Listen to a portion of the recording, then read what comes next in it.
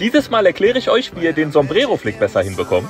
Dazu beginnt ihr den Trick, indem ihr euren Fuß vor den Ball stellt. Anschließend springt ihr mit eurem schwachen Bein am Ball vorbei und lupft den Ball gleichzeitig mit dem starken Bein nach oben an, sodass ihr euer Bein im letzten Schritt durchstreckt und den Ball über euch bringt.